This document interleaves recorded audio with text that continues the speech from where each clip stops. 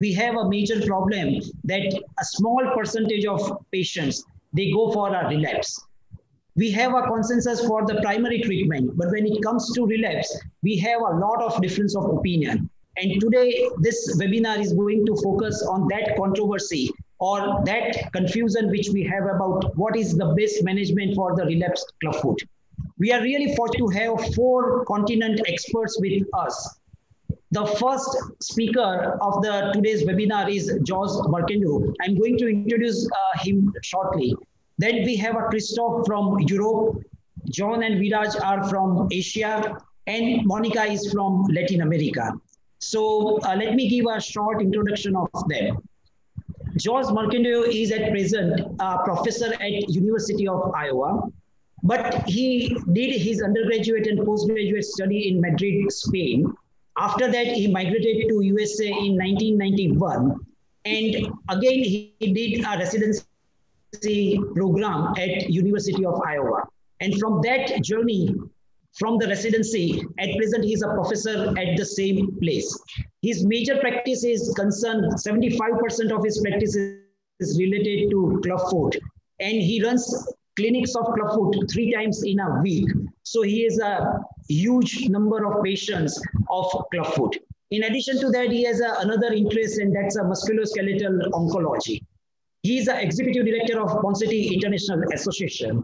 So I'm sure that uh, he has learned this technique from the master and he has taken the practice of masters also. So he's going to share most important tips which we are not knowing at this stage. He's going to tell us that also.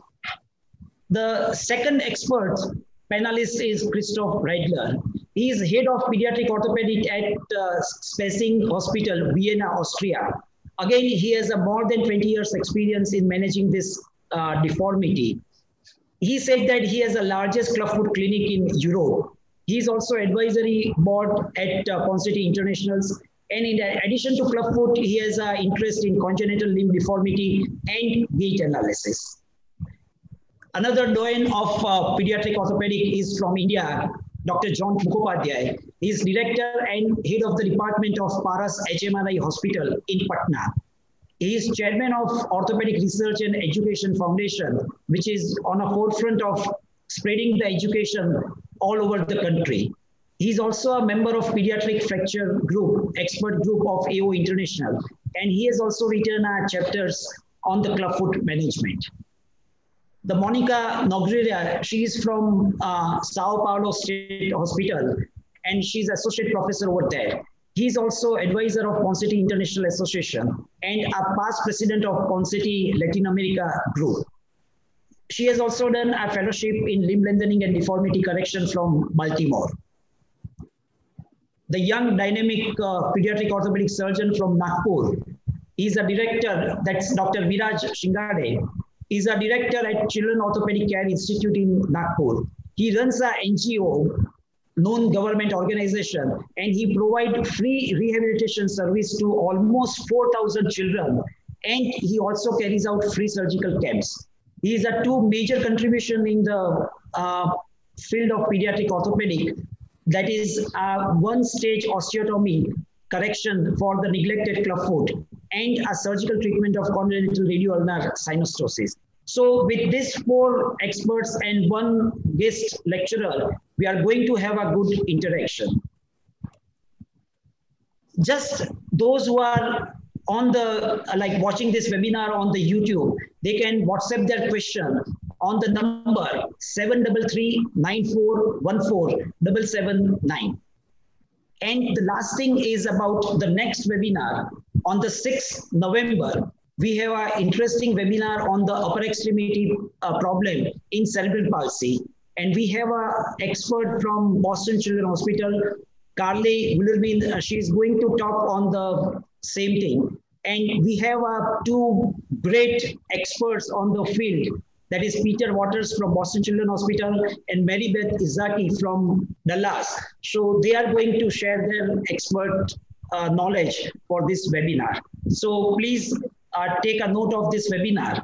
So now I will stop sharing. I will request uh, Taral to tell you something about the poll and then I will run the poll. So in India, uh, we always start I think with politics and poll, and uh, this is no different. We want to have the public opinion, you know, what people feel about a given condition before they are taught. So I would request Dhirenbhai to start sharing slides and uh, after he has uh, shared the question and the possible options, I will give you the options on the poll and people can poll. You will have 20 seconds to poll and then Dhirenbhai will give uh, his expert comments and then we'll proceed on. So there are five questions and we'll do them one by one. Dhirenbhai, over to you. Yes, so there are five questions and each questions there are four options. So you just have to select one of the option. So it's very easy, but this is going to be very interesting because it will give us idea about what we think before the webinar. So the first question is, according to you, what is the most common cause of relapse? A, inadequate correction. B, improper brace. C, poor compliance for the bracing. And D, genetics of the condition of a child. So now it's open. You can give your vote. There is a very close contest. Of course, the winner uh, here some seems to be poor compliance for bracing, but other are in close, uh, uh, you know, contest behind. People should vote. Five seconds more to vote, and then I'm going to close this vote.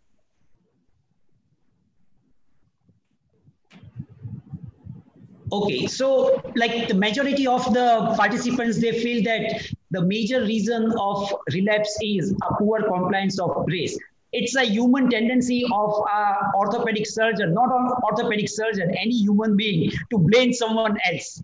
We don't take a responsibility on ourselves and we usually blame that it's a parent's fault. And because of that, there is a relapse. But fine, we will see what is the opinion of uh, our experts. Okay, shall we go to the next question? Yes, sir. Yeah.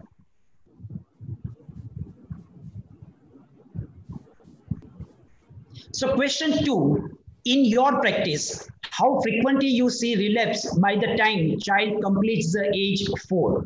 Usually we stop bracing at this year, uh, at that stage. So by that time, the first option is in a less than 5% of cases. Option B, between 5 to 10% of cases. Option C, between 10 to 20%. And option B, more than 20%. So exercise your right. Oh, a real close competition. Five more seconds to vote. Uh, please keep voting, everybody.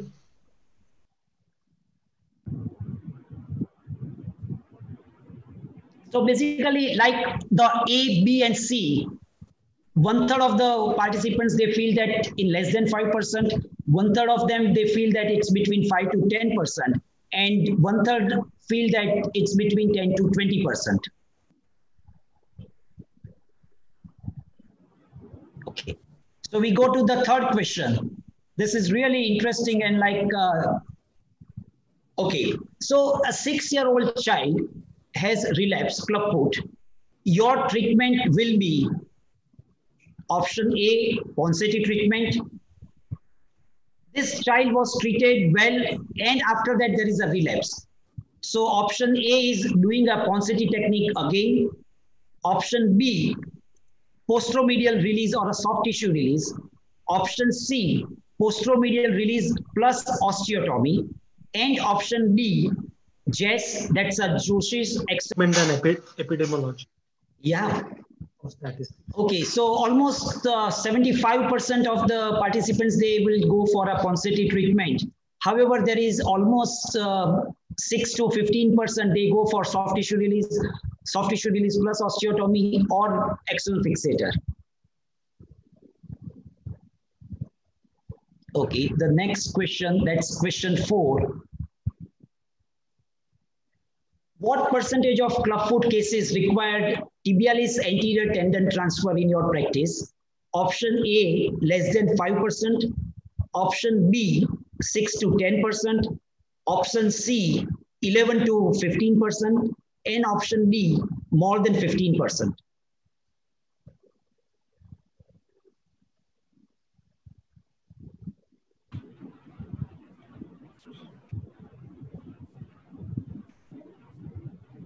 Okay, so um, the majority is like 41% uh, says that uh, in their practice, 6 to 10% of the patients, they required uh, tibialis anterior tendon transfer. However, there are like 16% uh, and 13% they say that more than 15% of the cases also required this surgery. So that says that relapse is a really big challenge for us.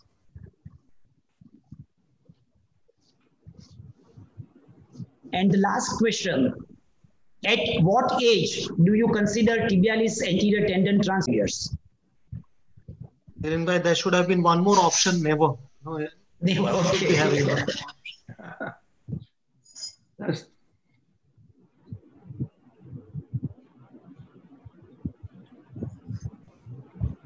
Okay, so this is the result like 50% of the uh, participants, they say that uh, they go for this surgery between three to four years. Okay, so with this, we end the poll over here and now it's over to you, Jose.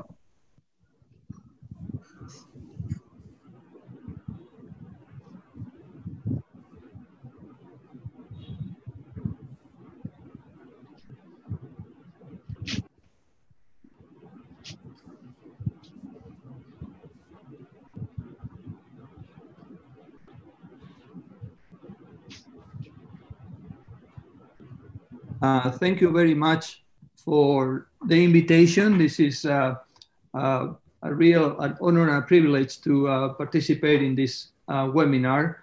Um, thank you to the participants uh, for being here, and I hope that this webinar helps to, um, you know, with the treatment of, of relapses, which is, as, as as we know, is one of the main challenges in, in the treatment of clubfoot. I would like to thank also the organizers and especially uh, Monica Nogueira, Dr. Nogueira and Dr. Christof Radler uh, for uh, joining uh, into this webinar for their expertise uh, on the treatment of clubfoot and relapses. Um, I, I wanted to, um, when I was thinking about, about the topic, I, I thought about, you know, do we really understand clubfoot? And I put clubfoot in quotes uh, and we will see why, and the Ponseti method. And, and this is based really in uh, 65 years of experience from Dr. Ponseti first uh, papered uh, up to today. Um, I have no disclosure other than um, I am founder and board of directors of the nonprofit uh, Clubfoot Solutions. Um, so it's important uh, to recognize Dr. Ponseti um, because he uh, was the person who really changed the paradigm of how we treat clubfoot today, but not just because of the treatment per se, but also because of the understanding. And we all know that his paper in 1963, um, in which he described his treatment and, and also described his main problem at the time, which was relapses, um, uh, really was not understood by the community and the papers after uh, on this uh, biology and biomechanics of the foot were not well understood, as we all know. And I think until his paper, his book was uh, published in 1996 with, with his uh, really philosophy of clubfoot understanding and treatment that uh, the community didn't start uh, learning and, and really start changing the mind for, for how to um, how to treat uh, clubfoot uh, based on the basic concepts. So, so it's very important that, that we recognize his uh, amazing contribution and really a gift that give us uh, for treating these patients uh, that are so common in our practices. And I think one of the main uh, issues here is, is how do you conceptualize clubfoot?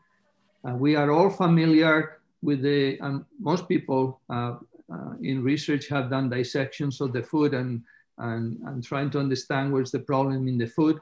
Um, we as orthopedic surgeons uh, are very concentrated on the imaging and, and how the bones look like. And, and then there are many hypotheses thinking that, you know, when you do a dissection, and this is the classic picture by Dr. Ponseti, you can see that the uh, navicular is completely displaced, uh, is misshapen, Uh, the talus is also mis, uh, misshaped, um, and, and the midfoot is misshaped. And, and, and the issue here is that just because these tissues are misshaped doesn't mean that is the central point of the biology for clubfoot. Um, as Pirani beautifully demonstrated in the study in 2001 with MRI, you can see here that you do the MRI before the uh, starts and it's the same pictures like the specimen. And then three weeks into the treatment, the navicular um, is already starting to be in position and changing a little bit the shape and the talus change the shape.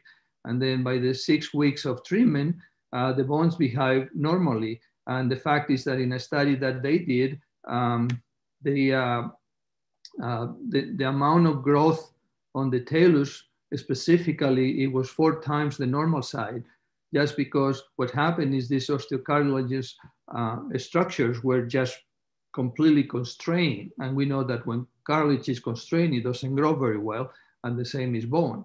So, so the, the, abnor the abnor biological abnormality in clubfoot is not in the bones.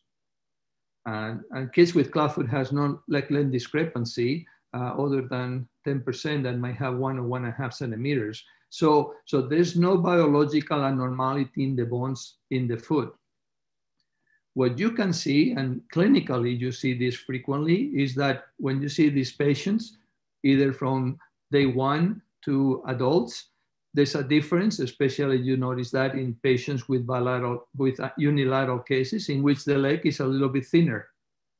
And, and when you look at the specimens of patients of clubfoot, you can see that the gastrosoleus, and this is, is smaller, and look at the Achilles tendon in the normal side is very thin and maybe 20% of the length of the complex of the muscles and tendon and the muscles are very nice and well developed. In the clubfoot side, the tendon is very thick.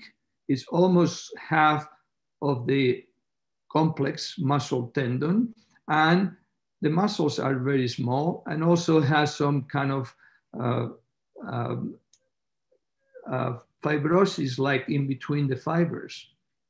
And, and that is what Dr., when Dr. Ponseti and other studies have done and evaluate these muscles and soft tissues and found that there's an increased cellularity and increased uh, amount of collagen. And it's also some collagen in between muscle fibers. So what happened in clubfoot then is not that there's a problem with the foot. Uh, it's not a problem with the shape of the bones that they do respond to uh, to the mechanical stresses and they recover after the treatment is that there's an abnormality in the soft tissues and muscles on the lower extremity.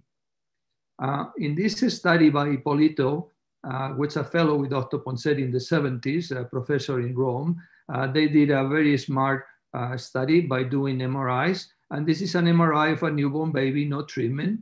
And you can see here that the amount of um, uh, muscle and the uh, characteristics, the MRI characteristics of the muscles are very different between the normal and the athletic side. I mean, it's about 30 to 40% smaller. And if you look at the anterior tib, it has a lot of white around. The extensors are kind of very, very little developed. And, and the peroneals and also the gastrosoleus, posterior tib and, and uh, flexors. So so this is not a problem of one muscle uh, in clubfoot, and I'm saying that specifically talking about anterior tib, as we will discuss, is a problem of development of the lower extremity and, and affects all the compartments from the knee down. Now, most people have seen some cases in which you do the casting and then for reasons that is like, oh, you take the cast off and the you know, and then this, this much swelling and everybody's puzzled because, oh, why this happened? Well, this happened for two reasons. One reason is because when you are doing the casting, you stretch too much or you put the cast too tight. But there's no question that some cases, you know, many cases don't swell up too much. There's a little puffiness, but it's okay, but others are not. The more and we don't know the genetics, but there might be several genes that are leading to what we call clubfoot. And, and what happened is that the neurovascular bundles also have a soft tissue around them. And when these cases are a little bit stiffer, and this is what happens usually when there are stiffer cases, those neurovascular bundles are also have a stiffening of the, of the uh, tissues, the soft tissues around them.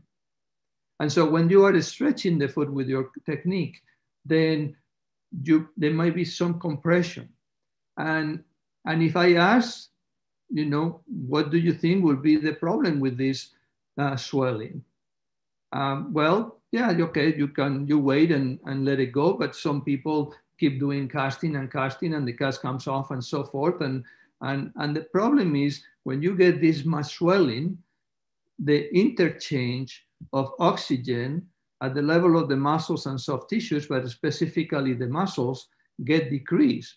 Yeah, the artery is able to put uh, blood into the leg, but the veins are and the and the lymphatic system had difficulties getting the blood out. And then there's a stasis in there, and then the oxygen is much less for these tissues. And this is extremely important and also has tremendous implications on relapses because what happened is that uh, these two studies from the group of Matt Dobbs and Christina Gurnett, um, they did an MRA of clubfoot and they, you can see that there's sometimes abnormalities in the blood vessels. For people that did surgeries for many years, sometimes you get into big trouble because the circulation was not that great and because there's potentially abnormalities in these blood vessels. And the results of these cases, and this is another study by the group uh, of resistant club feet, uh, feet that are very difficult and they swell up and it's very hard to get them around. You can see here, especially in the middle column, the amount of um, really necrosis of muscles that is produced. And, and you can imagine that these cases are not going to do very well in the long term. So, you know, clubfoot already has smaller muscles. And if you get into this kind of situation, then these muscles are suffering much more. And you can imagine that then the relapse rate in this case is much higher. Actually, in our statistics, it's about 60 to 70%, even using the brace. So this is a very, very important point that everybody has to take in mind. Swelling in clubfoot is tremendous, has tremendous implications for, for um, the follow-up and the outcome of these patients. Now, in this same study by Ippolito, they look at patients that have finished the treatment, and this was a four or five years old kid that finished the uh, casting and the bracing. The leg looks very nice. It's a little thinner compared with the other one. And, you know, it looks about the same size. But when you do the MRI, you can see here that the muscles are about 50% smaller than the other side. Now, the, the fat is a little bit thicker. And so from the outside, it looks like it's about the same. But the inside, these muscles are not very well developed. And that is what it leads to relapses. And so relapses in clubfoot are coming because the muscles are not growing properly. And we are really very lucky um, that relapses, when you look at the number of relapses, and this is based on our own statistics, and, and, um, and we will talk a little bit more about that um, uh, later in the lecture, in the talk. Um, you can see relapses are very common in the first year of life. Then by the second year, it goes a little bit down, third year, fourth year, fifth year. And usually by five or six years, the number of relapses decrease very much. And actually the number for us in our statistics is about 5%. So after six years, there's about 5% of patients that might still tied up because those muscles still are a little bit tight. And, and, um, and so the reason for saying use the brace until four or five is because that way you can cut 90 to 95% of the relapses uh, that you will see in your clinic. And, and why relapses grow? Well, uh, happen.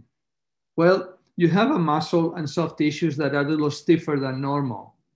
And you have a bone, as we described, that has absolutely zero problems growing. The growth plates are growing normally and making the leg longer. And those muscles also has to grow. It's not that you stretch them, it's that they have to grow. And if they are a little bit um, stiffer, they will need more energy for growth.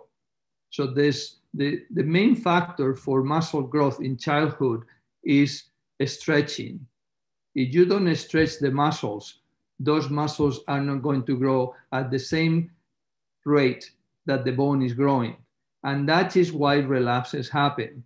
So relapses in clubfoot has nothing to do with the foot.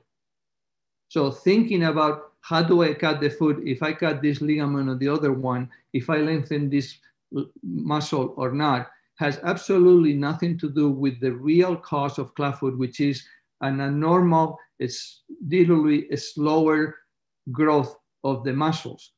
But if you keep those muscles stretched properly, as, as with the energy that they require for growth, then those muscles will grow better and then you won't see relapses. And I think this is critical for understanding clubfoot and for understanding the treatment of clubfoot because the Ponseti method really is not a casting technique. The Ponseti method is a philosophy. It's an understanding of clubfoot and how do you approach clubfoot with the concepts of Ponseti. And the muscles that are the most important are the muscles in the posterior aspect of the leg, no question. So uh, in a normal biomechanics study of the uh, hind foot, how the foot moves and the hind foot moves, we know that the, the peroneus longus and brevis are evertors, it brings the foot out, and it's a little bit of help by the extensors. Now, everybody thinks that the posterior tib and the anterior tib are the strongest muscles inverting the foot. But the stronger muscle inverting the foot five times more is the soleus. Because the soleus has about mechanical advantage because it goes to the tip of the calcaneus and just a little shortening on the soleus is five times more lever arm than the posterior tib. So relapses happen because the muscles start getting behind, they don't grow as much, and especially because the soleus, which is a very kind of interesting muscle, uh, start getting shorter unless you keep stretching, and you have to stretch in dorsiflexion for the for the uh, for the soleus. So the only way to get the soleus to be stretched is if you keep the soleus in dorsiflexion. And so a smaller amount of uh, decreased growth in the soleus increases by five times compared with the other ones. So relapses are not initially driven by the anterior tib or the posterior tib. Relapses are driven by mostly the soleus not growing properly. And, and, and this is critical. And the key here is that this abnormality in the development of the limb stays with the life of the patient. In this MRI from the work of Ippolito, you can see here how the leg in this adult person, and he was treated with the Ponseti method uh, after Dr. Um, Ippolito went back to Rome, that the size of the muscles is half of the size of the normal side. Functionally, most people have no problems, but it's clear that this abnormality in the limb development and growth on, on, on clubfoot is abnormal. So this is why it's extremely important for people to understand that clubfoot is not a foot problem. Clubfoot is the result of a developmental abnormality of the limb affecting the muscles and soft tissues that by differential growth compared with the bones pull the foot into the clubfoot position. So clubfoot is really not a diagnosis. Clubfoot is just a symptom and the symptom of a developmental abnormality of the leg. And if you don't understand this, you are going to make wrong decisions because you are going to concentrate your treatment in the foot. And how do I put it straight when the real abnormality is in the leg? And if you keep those muscles nice and stretched, the foot is going to be just in the right position with no problem. And this is critical to understand. So as we discussed, the Ponseti method is really not a casting technique. The Ponseti method is actually what I will say is a philosophy. You know, it has a very specific way of manipulating, a very specific way of doing the casting, which is what most people understand. Um, but it's a very specific way also preventing relapses, which is our topic today, and treating these relapses. As it's been said, most people feel comfortable doing the casting and getting the foot straight, um, more or less. And then people are facing the problem of relapses. But if you understand why this happened and you understand the muscle development, then you can actually understand the treatment of clubfoot and the clubfoot relapses. The key here is that the principles of the Ponseti method are very, very simple really, this is, you know, you know, he was a genius on, on, on coming up with this method. And, and, the, and the principles are just three. I mean, really, you apply these principles to every single case of clubfoot, you are going to be successful. Number one, either for a one day old baby or for a 10 years old kid without relapse or for a 15 years old person that never been treated, a neglected case, what you need to do first is stretch those muscles with your casting to get correction. Because you have to stretch those muscles to get correction. It's not cutting ligaments what is going to get correction. You have to get dorsiflexion uh, because that's usually the last step. And you can try that to do with casting, but that puts a lot of pressure on the um, talus especially, and you can create uh, iatrogenic deformity, which is a flat talus. And for those, you do a tenotomy. And then you maintain the correction. Once you have the foot corrected, means you have stretched all the soft tissues and muscles and tendons, then you have to maintain that correction. And that correction is maintained by bracing.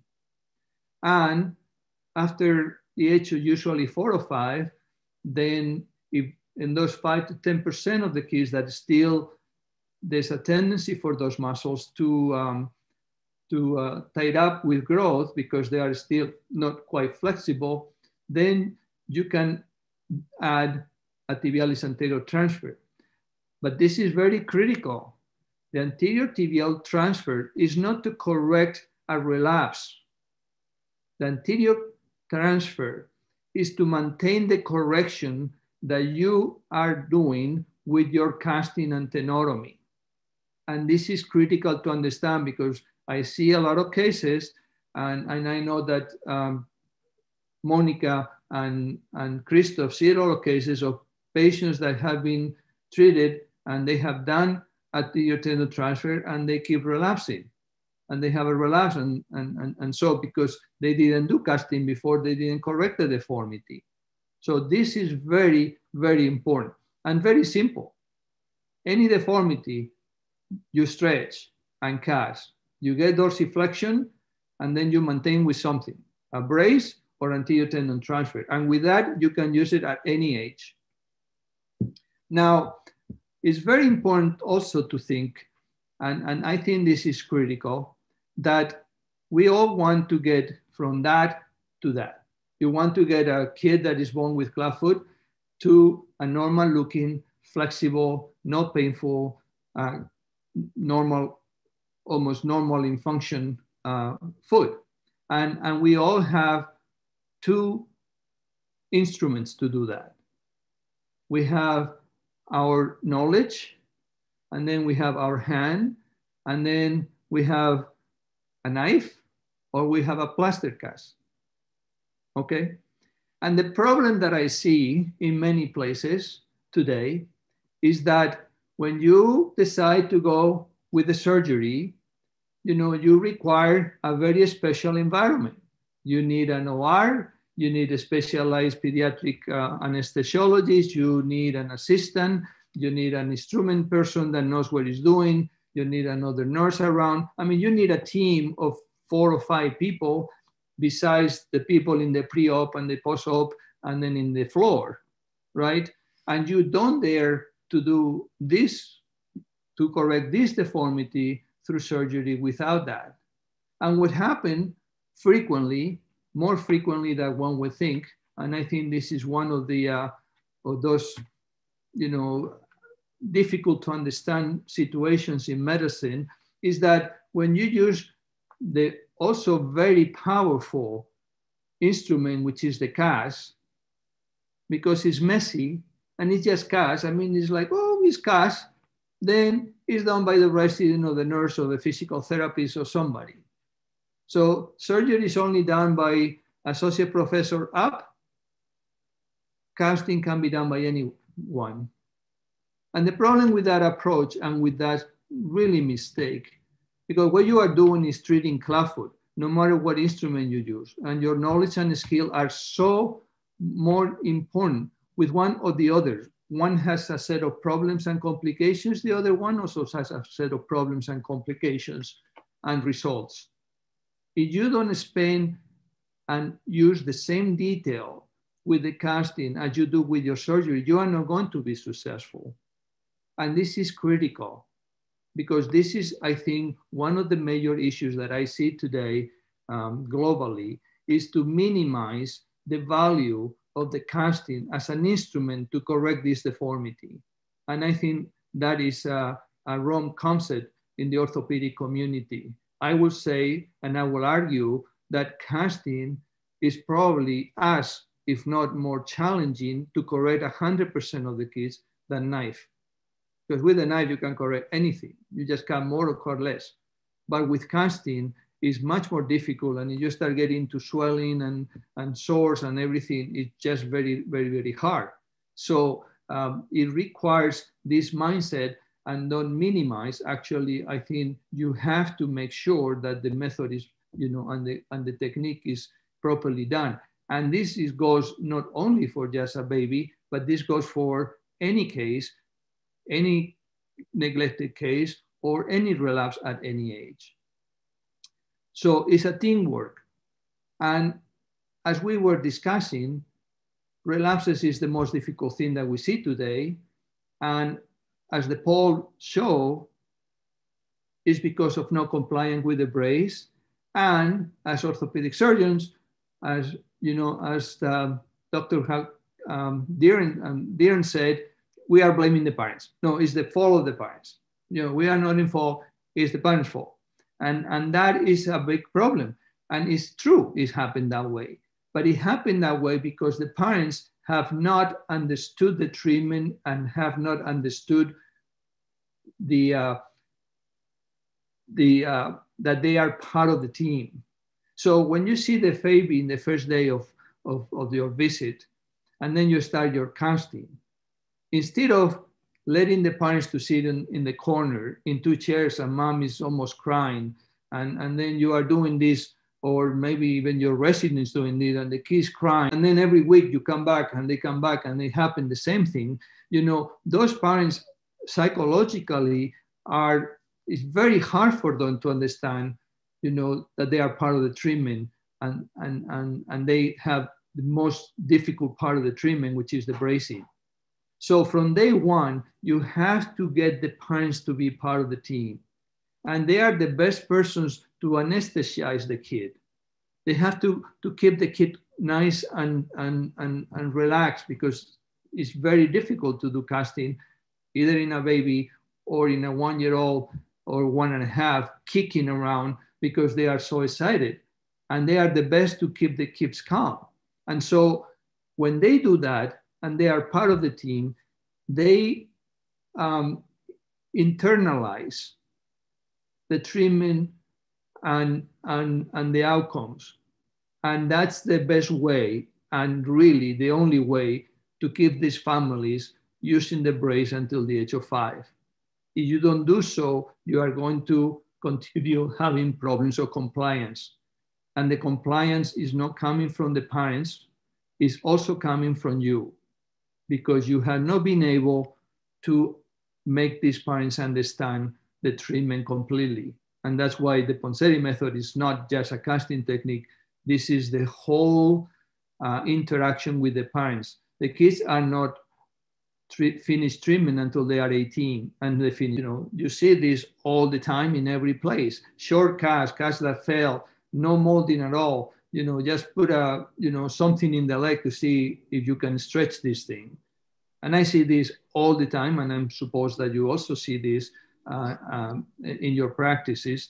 Um, and, and, and so then it's like, well, this foot is very rigid, it's not responding to the Ponseti, we need to go back to surgery, right? And then this is all kind of problems that you are going to see, especially with rocker bottom deformities. You know, and you do an X-ray, the talus will be absolutely flat, and then you get into this swelling complex kind of situation with feet like these ones over here. That is like how you know how can you get to that from a kid that is so nice and soft? Well, this is a huge complication. And if you think about this and you look at the MRI of the cases with, with swelling, you are killing, you're creating almost a compartment syndrome in this feed. And, and that's why they don't respond to the. So this is very, very important to understand. And, and why I say this? Well, in this systematic review of uh, the management of clubfoot um, by Chao Li Group in China, um, what they observe in clinical variations is like, oh, in my cases, no, in India, no, in Brazil, no, in Austria, no, in Iowa. Uh, the feet are not different. What is different is how do you apply the method? How much detail you put into your casting, how much detail you put into your bracing, how much coaching do you do to your families, and how do you, you know, uh, manage relapses. And, and, and the truth is that when you do the method properly, when you follow the guidelines, then the results are amazing. And, and this was demonstrated in this paper. Um, the group of Matt Dobbs and the group in Denver here in the United States. In Denver, big children hospital, 16 orthopedic surgeons. Uh, probably there are more now. They are very busy. Um, and then Matt Dobbs, you know, he has a clubfoot clinic uh, um, uh, dedicated uh, to clubfoot and the 16 orthopedic surgeons, you know, they will adapt the method to their understanding and to their practice. And so when they put the two together, what they realize that is in, in Denver, they have a 50 to 60% surgery rate compared to no surgery with the with Matt Dobbs applying the method properly. And this is including extensive releases and so forth. So is how do you apply the method through the life of the kid is extremely important. And I can overemphasize this, this fact. It's not the feet. The genetic plays a role, as we saw, and they were right. The bracing plays a role. Correcting the foot completely plays a role. Not using the brace plays a role, huge. But this is all under your responsibility. Now, we did a study a couple years ago. Uh, we asked the POSNA members, and we did a poll similar to what you did this morning. Okay, and I'm so happy that the poll this morning in India is much better than the poll that was done in United States with the POSNA members. Because what we found uh, when we asked about the treatment of relapses is that only 34% of the people recommend the brace until four. And when they have a relapse, and relapses were present up to 40% of the time in most in many many cases. Half of the people didn't do casting which is critical. You have to correct the deformity with cast before you do maintenance. And because you don't do that and you go to do the, the anterior tendon transfer the foot is not corrected it's like oh we have to do something. And so surgical releases in this country are still done in almost half of the patients for relapses. And this is really outrageous, really, I would say. There was a paper by Zionts and the group in which United States, as you know, they have we have CPT codes for every operation we do, and then we have, as you do probably, and then we have the ICD-9 now ICD-10 for disease. So you cross two, you know, Clubfoot ICD um, and 10, and then you cross the codes because here is all insurance companies and they pay you by the codes really. Um, then this is all going to databases and there's one database for um, a representation of all the children hospitals in the country, okay? And Liu took a look of this uh, early on and look at the number of surgeries um, in Clubfoot uh, from 96 to 2006. Remember, uh, the first course uh, of uh, Ponseti method here in Iowa was in 1999. And, and so by 2000, you can see here that after 2000, when a few people in the United States start being trained, the number of surgeries over the next five, six years went down 85%. Now, this is surgeries in the first year of life. Okay, so, so it really tells you that by doing a good casting technique, you can really reduce the number of cases. It should be zero uh, if you do it correctly. I have not done any surgery, posterior release or nothing in, in uh, idiopathic clubfoot in, or here in Iowa for 30 years. So you can correct all the cases. I mean, some of them might take you 14 cash, but but you can all turn it around. You can stretch those tissues slowly, um, uh, but can be turned around. Now we follow this study because our experience here in Iowa is that it was not that pretty. And, and what happened is that when we used the same database and we went to 2012 and now 2016, and we are just finishing up those statistics, so this is uh, still not impressed, uh, but I wanted to share with you. Uh, in black is the first year of life, and definitely, actually, there's a 92% reduction up to 2016 of surgery cases in clubfoot in this country. But the number of surgeries after one year of age is practically the same. And this is why, you know, when you put this together with the POSNA membership uh, questionnaire on relapses, that people just keep doing surgeries. And, and this is a big problem. And the type of surgeries that are done, and this is actual data. I mean, these are real hard data in United States, is exactly the same than before the Ponseti method in 1997. And, and look at here one for external fixation, a peak at the edge of two. I mean, why do you have to do an external fixation in a two years old kid that has a relapse. I mean, it's like, how, how that come? And, and doing osteotomies, you know, from, from two years of age. There's absolutely no need for that because it's not a problem of the foot, it's a problem of soft tissue. You have to stretch those soft tissues and maintain the stretch. So this is a big issue, it's still United States, and I think this is probably the same that you are seeing um, in India and other countries. And um, and, and you know, this is pretty cool. You know, so we are pediatric, I'm a pediatric orthopedist, and then surgeon is kind of in quotes. But there are many pediatric orthopedic surgeons, and because you are a surgeon, you have to use your skills. And, and then doing surgery in clubfoot is pretty cool because it's kind of nice and you know delicate and and and you know, and then you get the foot turned around and it's beautiful. It's like, and you feel great about you know your work.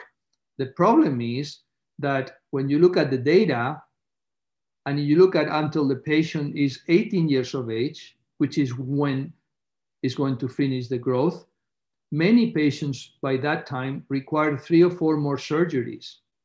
And I, I bet you that you have experience of cases that have five, six, seven, ten surgeries because you know those feet are not very good and the number of complications increments and increases with more surgeries right? And then you have under corrections, you have over corrections, and I can tell you over correction in clubfoot like this, and probably your experience, these are painful, really painful. So, so if you will look at the data, and, and this is clinical based evidence, okay, not opinion experts, opinion, this is not tradition, you know, you base your decision making in, um, in evidence these papers here, and sorry, it's a bit small, but I can share with you, it's in the internet. Uh, in blue is the uh, long-term outcomes of patients with after surgery. In red is the patients treated with Ponseti. And you can see here that when you do a follow-up, and it's a two or three year follow-up when the kids are 10 to 15, most of the patients in these three or four papers, there's not too many, are doing pretty good. In general, they are okay.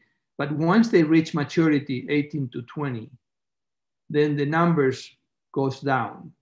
And the last one, the longest follow-up is 30-year follow-up, 27, by the group of Dobbs in San Luis, in which only 30% of the patients were doing okay, non-excellent, some good, 30%, and then the rest were fair or poor.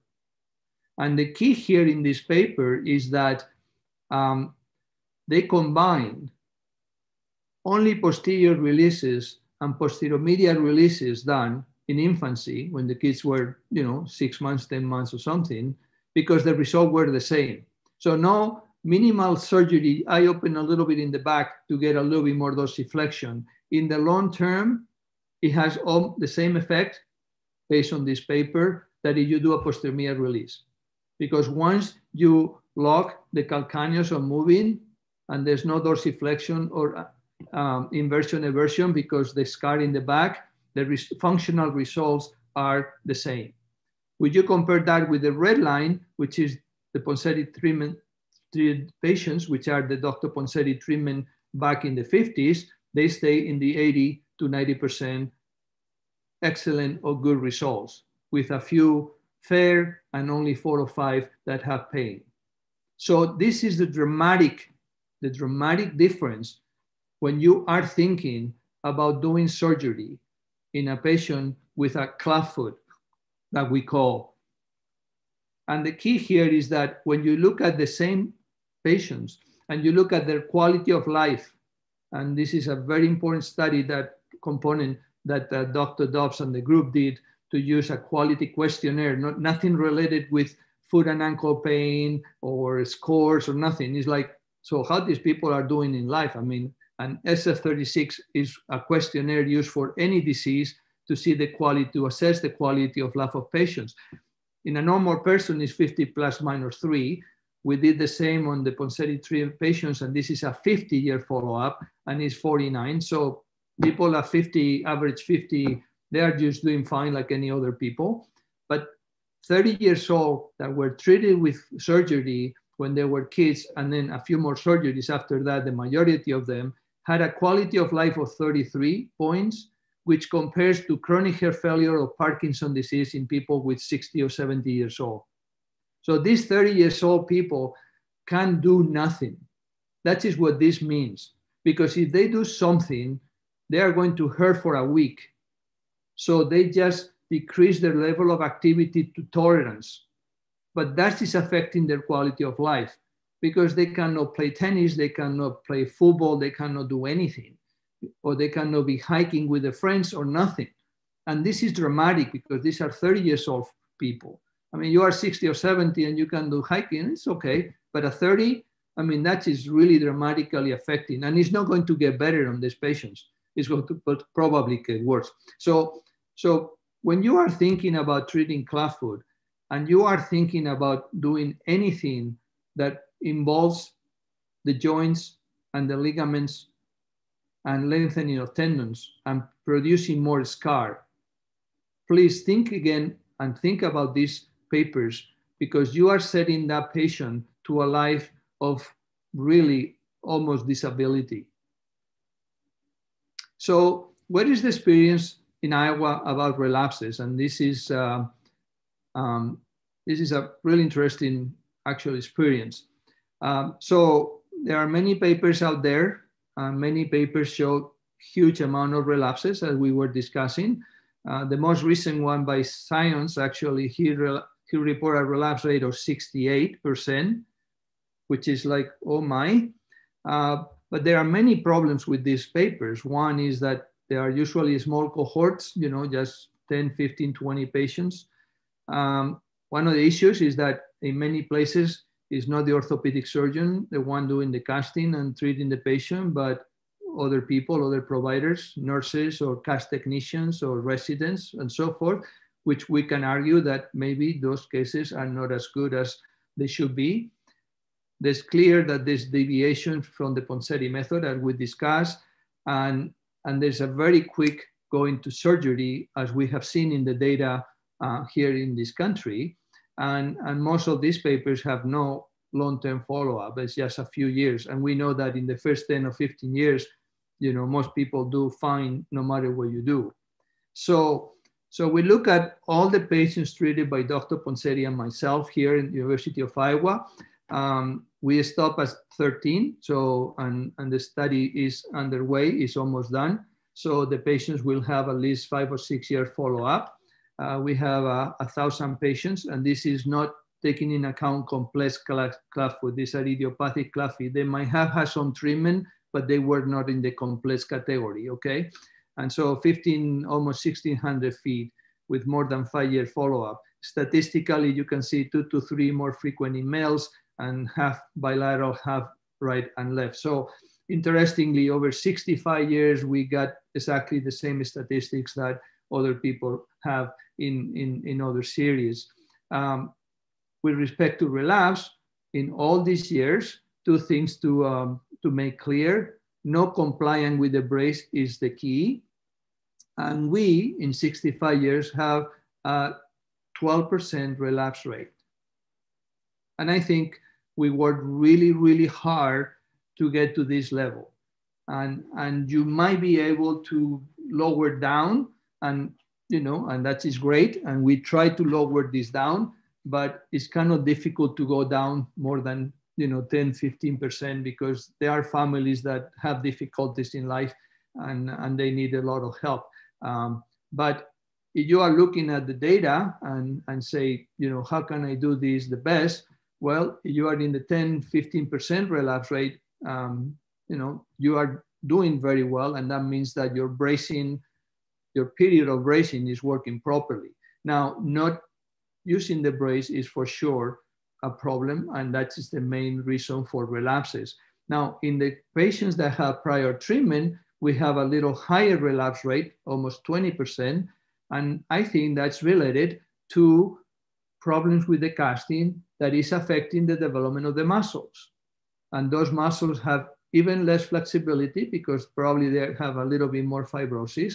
And, and so they grow a little slower. And then you are going to see some a few more relapses, but still is a manageable number. There was no difference statistically, uh, but there's for sure those cases you have to keep watching and trying to get the family to go as long as they can with the bracing. Um, age at the presentation, as I said, previous treatment, five or seven days, no difference. And even the number of casts for correction at the beginning has no difference.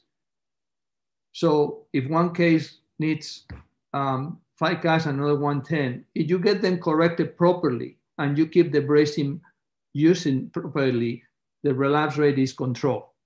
Okay, and just to uh, point it out, um, because this I think is very important from the technical part of the casting, only 8%, 7.8% of all these patients in 65 years require more than seven casts.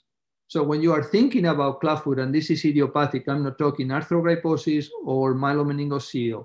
These are just normal kids. The one that we know is an idiopathic clubfoot. The only thing they have is, uh, is a clubfoot, right? Um, there's not much difference in these cases. 92% of them were corrected with five or six casts. Actually, our average is 5.3. So when you are thinking about clubfoot and you are blaming the foot because you are not able to correct them or you get too much swelling, you have to be very humble and realize that your casting technique or the way the casting is done in your clinic is probably not properly.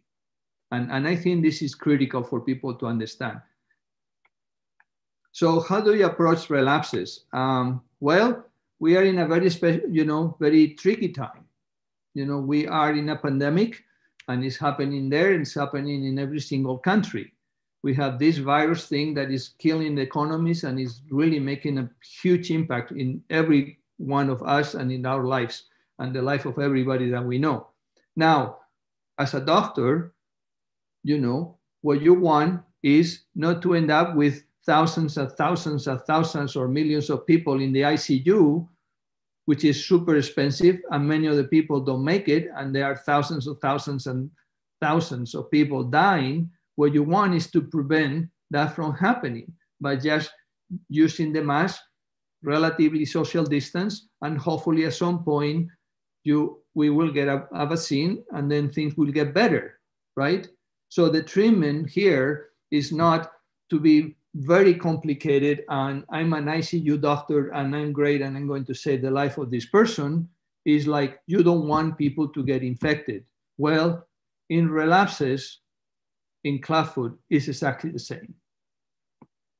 Relapses is not treatment of relapses. Relapses is prevention, prevention, and prevention. That's how you treat Clubfoot. You are not treating to see what kind of surgery or technique or whether you cut or not cut and how you put the foot and the pins.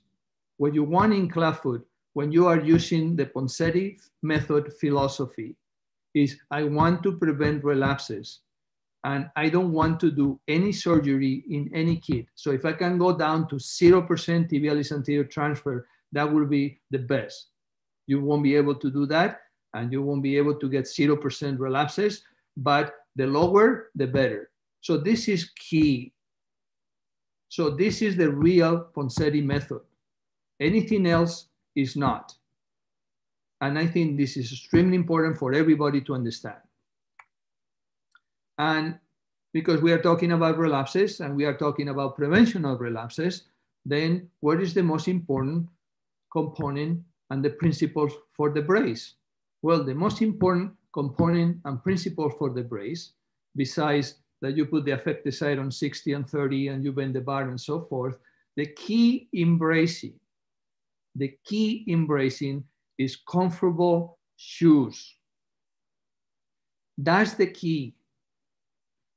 And a little baby, two months old, or a one year old, or a five years old, if you don't use a comfortable shoe, that kid is not going to be using the brace. And it's your responsibility, every one of you out there, and I don't know how many you are, but everyone, it's your responsibility as the doctor to provide the families with the most comfortable brace that is in your market. And if there is no one, you have to find one because that's the key for success.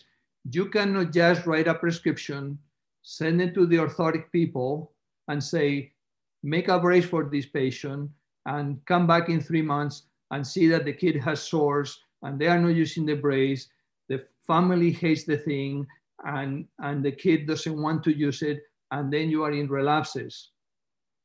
You, as the doctor, are responsible for giving this family, which and this kid who is responsibility to get to 18 years old without problems, the brace that has the most comfortable shoes. That's the key, because the other things are just technical. 60 degrees here, 30 degrees there, bending the bar or no bending the bar. And I can overemphasize how important this is. So please, when you are now back in your clinic tomorrow, you look at what are the options you have and you start looking for one option that provides those parents with the most comfortable shoes for the kids so they can be successful with you. That's the way you treat relapses, is preventing them by using a brace that is comfortable. There's no other way around, really, no other way around. And there are many ways, and there are many shoes out there, and many braces done by many people. And I would say that if you would have a kid with clubfoot and you have to use some of these braces out here, it will last two weeks for you and your wife to get desperate because your kid, and just think about one, your kids, your kid, your son or your daughter using these things for four or five years. There's no way unless they are comfortable. And what type of brace is also very important, right? And you need to stretch those muscles. That's the function of the brace. The function of the brace is not to hold the foot. And that's why this concept of clubfoot is not the best concept that we can use. It's a developmental normality and you have to stretch those muscles because the foot is going to follow what the muscles are saying. And so the key here is that the kid should be free every day during the day running because that's the best exercise for those muscles to grow. And then at night, when those muscles are relaxed, and also when the kids grow, which is at night, physically, they grow, then you have a brace that is stretching those muscles. And the key one, besides the posterior T, anterior T and flexors, which you require abduction, is the soleus. And the brace is not holding the foot. It's not something to hold the foot in position. The brace is something that is dynamic that allows the kid to be moving and stretching through the night when they are moving around. So any AFO, any plastic that you put during the day or at night is affecting the development of those muscles. So you don't need anything, no inserts, no nothing. Just let the kid grow and, and run as much as possible because the more they run, the better it's going to be the muscle development and the elasticity. In this study, this was an investigation for a PhD, and they developed this model and in a nutshell, here um, in the top is the standard brace. I hope that you can see it. And you can see that all the muscles are stretched other than the peroneals and the anterior tib, because if you keep the foot in abduction, the peroneals don't get stretched, they shorten a little, and, and the anterior tib also is a little off the axis of movement. If you use an AFO, yes, you stretch a little bit up to 90 degrees, but you are not doing dorsiflexion. And if you do dorsiflexion, you start having a relapse. And then if you use the articulated brace, uh, the Dobbs bar specifically in this study, um, because the Dobbs bar has too much flexibility and it can go in plantar flexion. Yes, it stretches the posterior tib and the flexors and the anterior tib so on, but it doesn't stretch the soleus as much because the kid can overcome the flexion. And so it's not as effective in this model as for stretching the feet. And another thing is very important, and this is a paper from Norway, is that um, you use an AFO at night, it's like, okay, during the day the kid is running, but at night we are going to put a, a brace to do dorsiflexion and a little bit abduction. So this is a model that is very um, much in use in the Northern uh, um, Europe, uh, Norway, Sweden, Germany, and in many other places. And here in the United States, it's called the Wheaton brace, and probably you have other names. So it's an it's a articulated AFO with with the knee also included, the thigh, and then you have these straps and well, when you are doing that for 10 to 12 hours for five years in a kid, what is happening is all those pressures, and, and, and you are not allowing, like in the standard brace, for the kid to be moving because the brace is not holding the foot in position, it's just allowing the muscles to stretch in the right direction, which is different. Then the number of flat talus is, you know, mild, moderate, and severe is 90%. So you put a brace putting pressure on that talus by using this kind of brace, you are flattening the talus. And you flatten the talus, this person is never, ever, ever going to have dorsiflexion in that foot. It will be neutral or less. And you are going to be fighting even more the growth of the muscles until the patient is 18. So the best brace biomechanically and the best brace functionally based on this information is a foot abduction brace that allows the kid to move around without any pressure with the most comfortable shoes that can be done for that kid. And that's the way you prevent relapses. So how to enhance compliance? Well, number one, make it fun. Don't think that the braces are a punishment. Don't let the families from day one to think that this is a punishment. This is a very positive thing to keep your kid out of trouble. They need to have the tools to be good. And if you recommend a brace that is so painful because it's so hard or doesn't fit or something and the foot is not fully corrected eh, and on and on and on, those parents are not going to be successful. I don't know if there are parents that don't want the kid to be successful and be fine.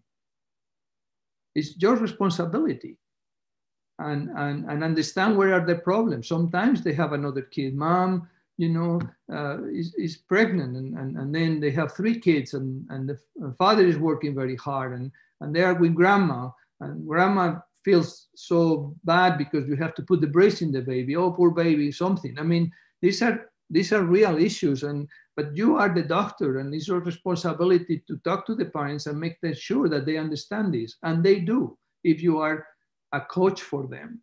And I think the best position for you as a doctor to prevent relapses is to be a coach, like the coach of the football team. There will be bad days, and then you have to regroup, and there will be very good days, and you have to tell the parents how well they are doing when they come back to clinic because they need that, right? And, and relapses happen clinically, now getting more technical. Remember, there is this muscle development issue. So the sign of a relapse is that you start losing dorsiflexion because that gastrosoleus is getting tight. Okay, there's no relapses caused by dynamic supination of the anterior tib. Very few, five in my cases, very few. They are always have tightness because that's the muscle growth of the whole leg. Remember in that MRI that anterior tib was tiny, little, and with the MRI characteristics of you know having fibrosis or, or, or fat in between or something. So the anterior tib is not super dynamic here. It's not super strong, actually. It's just the same as the other muscles. It's stiff. So always look for how much dorsiflexion and abduction you have on the feet. And when you start getting a relapse, besides losing dorsiflexion, what that means is the calcaneus start going into plantar flexion. When it does that, biomechanically, you remember from Dr. Ponseti functional anatomy studies, start turning in and going plantar flexion and inversion. So that start giving you the varus and it start giving you the adductors of the foot, no metatarsus adductus, adductors of the foot, and then eventually the foot will start developing a little bit of cavus. So in the early stages of a relapse, you might only see a little bit of loss of dorsiflexion. If it is more time between stopping the brace and when you see the patient, those muscles are going to tire up more over the growth of the patient and there's going to be more deformity. And the kid will start walking on the side of the foot. Like in this case, this kid is a four or five years old kid and he came six or seven months after stopping the brace. And, uh, and you can see here that it has a little varus, it start developing a little bit of cavus. Um, the foot is turning in. And here we don't examine the dorsiflexion, but there's no dorsiflexion. So that is how a relapse happens, is because all these muscles over a period of time, the bone keeps growing, they get behind, they start getting tight, and then they start making the foot to turn in. So how do you treat relapses then? Well, it's the same thing. Number one, you stretch those tissues by casting. The same thing that you did when the newborn baby was baby. And then you do a tenotomy or not, depending if you can stretch them completely. So if the relapse is kind of uh, not too advanced, um, then you might be able with two or three casts to get dorsiflexion and, and then you go back to the brace. If it is very, very stiff or the patient came when he was a baby and then they don't show up until one and a half years and then the foot is almost the same as the original deformity, then you just follow the program. You just do the casting, do the tenotomy, get to 10 to 15 degrees dorsiflexion, and then go to the brace until the age of four or five. And if you do that, 90 to 95% of the patients don't have a relapse. And that's the way to treat relapses. And after the age of four or five, if it is very difficult for those patients to, uh, to uh, usually is because they are old enough and they learn how to take the shoes and so forth, then after you correct the deformity with casting, then you do a tenotomy and anterior tendon transfer on um, at the same time. And that is the treatment for relapses in those 5% after four um, in general. Now, I would like to ask with this part, what will be the opinion of the panel about this case? Um, he was 10, uh, 9, 11, and he had five cast and tenotomy done by Dr. Ponseti. Uh, the family used the brace until three, so not too bad. They start noticing that it was start getting tight by five or six. They didn't have insurance, which is uh, unfortunately common in our country. And he presented a 10 with this deformity and let me go to the lateral side. So he was walking like that at the age of nine. So I would like to ask um, the, uh, the panel what will be um, their approach uh, on this case. Okay, let's start with the Indian faculty first. Uh, the Viraj, you being uh, youngest of the expert, what will be your opinion? Yeah, uh, I would still like to go ahead with, uh, as Dr. Jose mentioned, uh, some casting, and if uh, the uh, and some kind of uh, mini invasive procedure like for because there is a lot of cavus. If you see, the cavus is still there, so cavus has recurred. So maybe percutaneous plantar fasciotomy, and then followed by the tenotomy and the same sitting. And if it is required. I may go ahead with uh, um, some kind of osteotomy like like Lichtblau or Evans, like some uh, maybe a simple cuboid wedge dissection if it is not responding to the um, casting alone. So that for how many cast you will wait uh, before you go for the osteotomy? Um, considering this child is 10 year old, I think um, maybe around uh, three or four or maybe four or five should be sufficient, not more than that with considering the amount of deformity what uh, the child has. Okay. Um, Monica, what will be your uh, take for this? How will you manage? Well, I know this case, so it's not fair. but I think the most important thing to consider is that if you go on Ponseti method again, you have to be sure that you are making progress. I think this is crucial on the grown-ups or neglected, abandoned cases uh, after walking age or relapsed. You have to be sure that you, you have a control of, of how your cats are abducting, how much they are abducting, uh, and if you got stuck in something so that one, you can revise your technique and improve and get going, or you stop and do something else. But to remember this case has no uh, previous uh, release, release, has no uh, other incisions.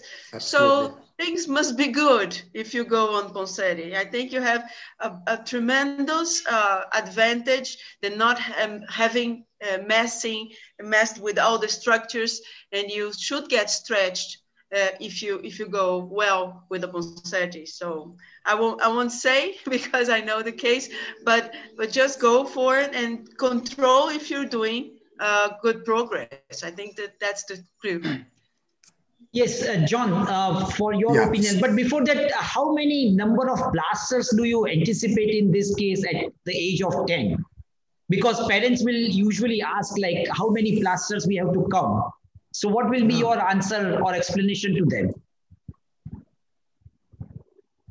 Yeah, Monica, what will be your explanation oh, to? Uh, well, you have to tell family because they have to plan for treatment. Okay, so uh, you, I will get, I will throw six as a good number because it's uh, more or less the number of the babies. So give the family has to give you six weeks and let's see what happens. And if everything is very very good, what happens? If you have to go one more, one or two more, and you finished and you you ready for tenotomy and anterior tib transfer, it's a good thing.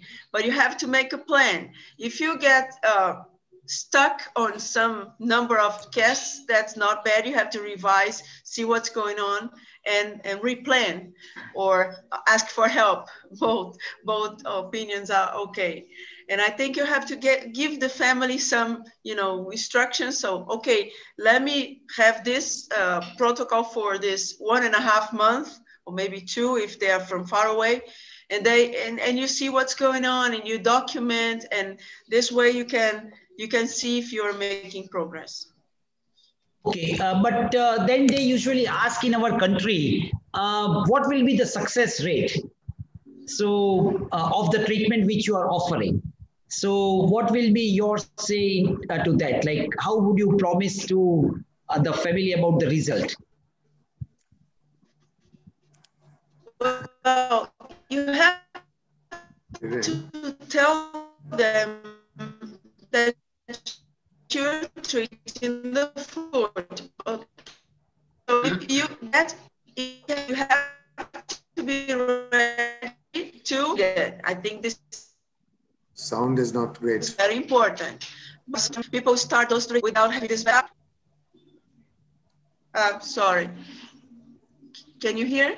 Yeah, yeah. It's, it's so patchy. you have to be to be sure that hospital is available. Hospital is uh, available. This is a way that you can do Ponseti method only if you can or not. Yes? yeah. Right. Yeah, John, what would you like uh, tell to So I would certainly, I, I, I think I more or less agree with what Monica said is that certainly would try casting again and again go the same way because supination again is a question of uh, getting the, the uh, sort of cavus is a question of supinating the forefoot so that it comes in line with the hindfoot. Okay. And then do your casting the classical way.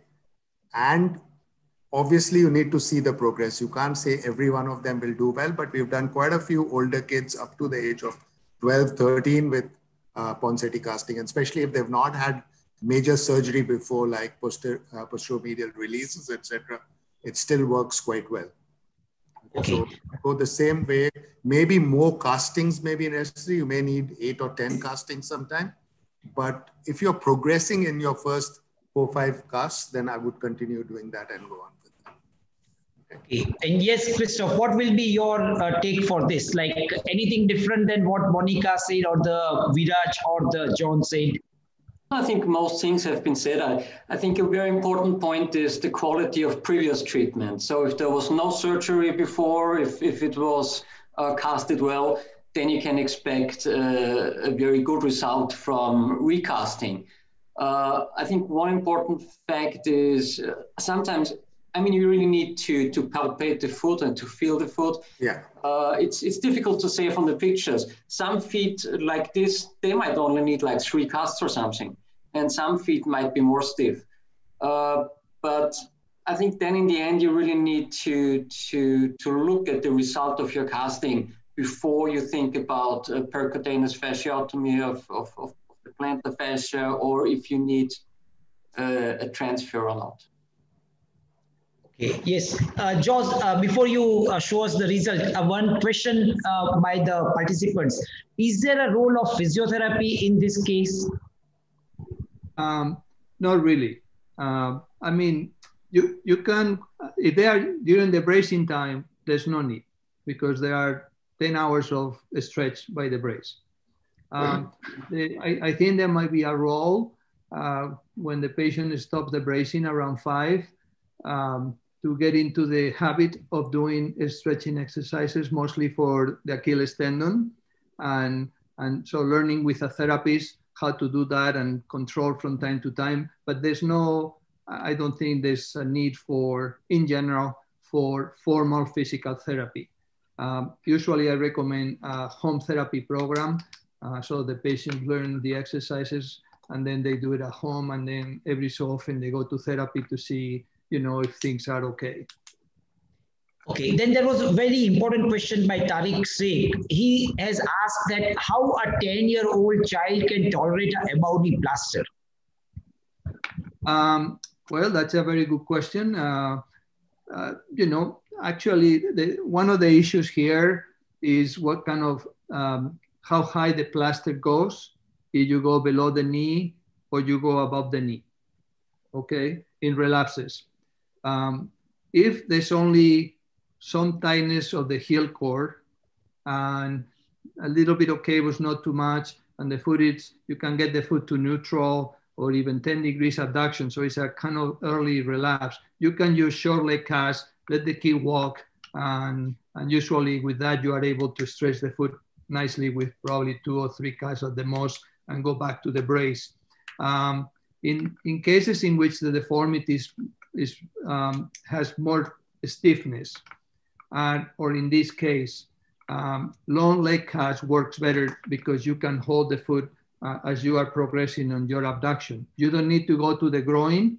Um, you just go just a little bit above the knee. Uh, you can let the knee, instead of 90 degrees, like 60 or something, so they can still walk. Uh, it's no question that is really, it's kind of difficult for the kids and the families. Um, uh, but, you know, uh, but, but when you put it on the whole scheme, uh, anything that you will be doing, they are going to be for three months in casting or or fixator or something anyway. So so it doesn't it doesn't make it much longer than than that. Okay, and is there a role of Botox, botulinum injection in uh, this by weakening the gastrosoleus muscle? Do we get a faster correction? Um, so so this is a question that. Uh, you know, you have to think about the pathology again, okay? Mm. And that's why I started with half of the uh, presentation on understanding clubfoot. Clubfoot is not an spastic foot. Clubfoot is that the muscles are tighter.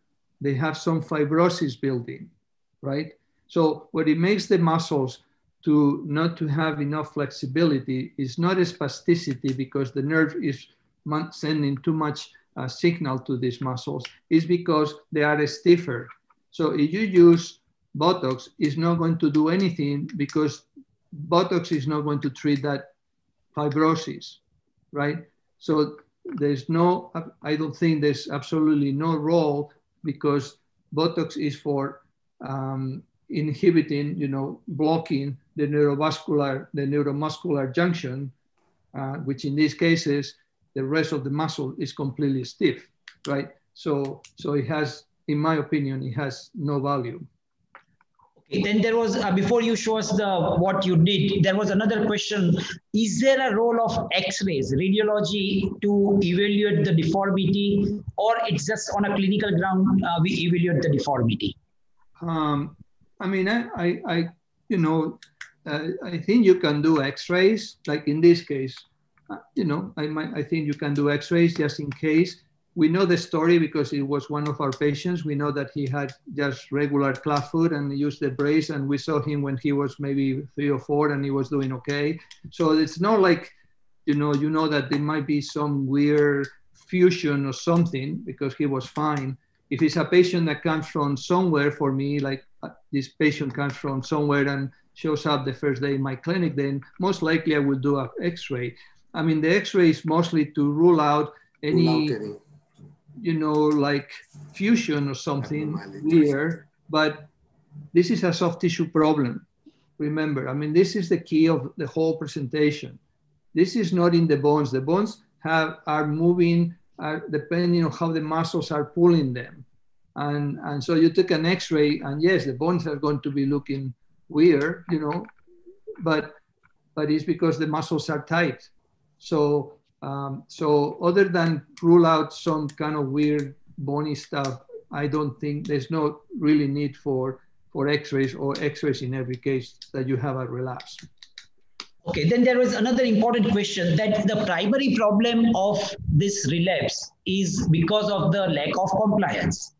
Now, even if we correct it, uh, compliance, poor compliance is going to be there will it not lead to a recurrence subsequently? Uh, well, in this case, you know, he's 10 years old. So, uh, I mean, he was compliant until three, which is, you know, not too bad. And he did it relapse right away. So this is one of those cases in which the muscles are not too stiff, but over time they still have, you know, they get behind the bone, okay, in the growth. So um, at this age, going back to braces is, I would say, I mean, it can be done, but but it's very very hard. Um, and you know, and then after four or five, um, you know, if it would be a two years old, I would say yes, it's lack of compliance. But we have been talking about compliance. The patient, you know, the food has to be corrected, and the family has to have a brace that is comfortable, and you have to educate the family to use the brace, and that's your function and that's your responsibility because that is your treatment. They are treating the patient for you. You are responsible to that kid because the one in the chart is the name of the kid, it's not the name of the parents. So your treatment for that kid is through the parents. So you have to provide the parents with the tools to be successful. So I can overemphasize that comfortable shoes is the key and, and educating the families. And, and so usually up to five, most kids are okay coming back. After five, five, six is kind of hard. I have some that can get to seven or eight, but it's very, very difficult. So, so in these cases, then you have to go to the to the other pathway, to you know, to the other uh, maintenance, which is the anterior tendon transfer. Okay, let's see what, uh, what you, do you did in the. if, yeah. So just uh, so how would you brace this kid post treatment? Nothing. There's no, yeah, there's no need for bracing bracing. after the anterior tendon Okay. transfer if it is done properly. Okay, so Great. so this case, this is how it looks like after five casts, and you know the casting was done above the knee. Uh, you know this is not a cast that is kind of easy. Um, you have to be very careful, like in any cast in clubfoot. Uh, if it is the first cast that you are doing in your life, I can guarantee you that you are not going to get correction. Um, you have to spend more time uh, doing the manipulation, doing the stretches. Is kind of three, four, five minutes. You have to be work. You know, the kids can respond to you, so you you know you you, you ask them and, and you push. And um, what's going to happen is that, uh, as as as as John said, actually, you know, the first and second cast sometimes you don't get that much correction Yeah. because those muscles are stiff. But there's one thing that works in our favor in clubfoot is that when you put a cast in a leg, any leg, any arm, after two or three weeks, there's atrophy, right? And that atrophy makes things softer. So some, in these cases, and the same thing for youngers, the youngers are more flexible, so usually it's more predictable. But after five or six, and we are talking about only 10% of the patients, right? Okay, then after the second cast, then you, you start seeing that you get more correction because that atrophy is helping you. And, um, and usually, as, as Monica said, I mean, every case is different, but you know, this is one of the cases that are pretty bad looking. I mean, it's like, mm, um, you know, five or six casts, seven casts, maybe five to seven is usually enough. But the casting technique, the manipulation, and, and the feeling of how you hold and how you mold and the cast that you use is critical. I mean, it's, uh, and in some hands might take eight casts because you don't have good casting. The cast takes too long to, to, to dry. Uh, you know, I mean, there are other factors, okay? But in the, you know, if you have a good cast, you have a good technique, and um, then usually five to seven casts in relapses is enough.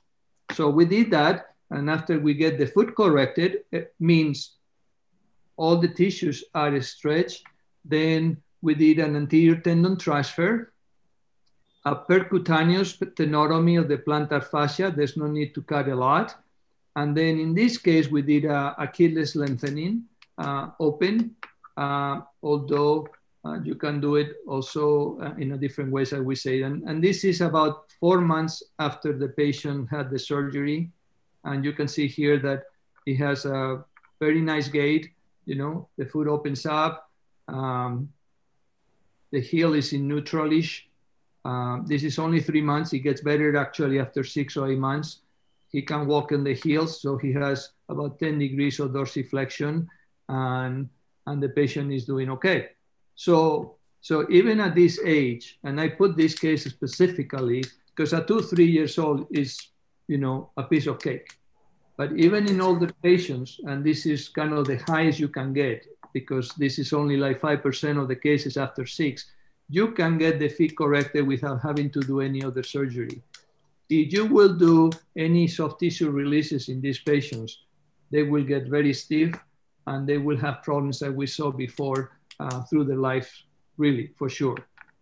So, um, sorry, Jose, I just yeah. wanted to ask you that in some of these uh, late uh, sort of relapses, we start with above knee cast for the first two, three casts and then change it to a shorter cast which they can walk in. Is that reasonable or you feel that is not? Um, I, you know, personally, I think you get more correction with longer cast. Yeah. But... Um, unless it's a, as I said, if it's just a mild relapse, then you can go short and with two or three casts, you feel that with two or three casts you can get a stretch, you know, short leg cast is okay. If you feel that it's not enough, long leg cast is, is better. And it might cut the number of casts that you have to do because you so what I'm saying is you, sorry, what I was saying was you start with long leg casts to get the initial correction or get more correction initially. And then maybe by the third or fourth cast, you change it to a short cast in which the child can walk a bit better. Is that? Yeah, I mean, I, I, I think, you know, you have to look at, you know, if that doesn't add, you know, three more casts for your correction and yeah. you get a good correction. Yeah. Okay. And it's very difficult because we do that because stretch the medial side and the cables with a, yeah. with a short leg cast, then sure. it's okay. But, yeah. you know, uh, I, I, I think uh, you know, you and, and also the families are coming back and forth and everything. So every trip that you save to that family is important. very important for them. And also it's important for you. I mean, this cast, sure. you know, is a 20, 30 minutes deal. Yeah. And, and, and if you save two casts, you are saving, you know, 20, 30 minutes of your clinic to do another cast in a different or see three, five more patients. So it makes your training more efficient. So, so that's why the casting technique you, you have to maximize your your um, casting to, and the effectivity of the casting effectively. That's that's the sure. key. So um, so for the tenotomy, uh, you can do just a percutaneous tenotomy or you can do a hook procedure. Uh, I have done tenotomies until seven or eight, just a tenotomy, and they heal fine. Um, after that, uh, I don't know, I have maybe 20 cases of these kind of old cases. Um, this case that I just showed you, the patient is now 25. So this is, we did it many years ago and we did a formal lengthening. Uh, but now you can do a, the procedure that gives you the same.